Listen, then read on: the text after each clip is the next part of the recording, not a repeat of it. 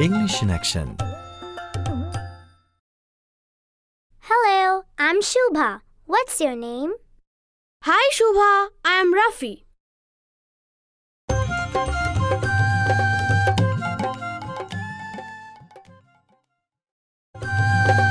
English in action.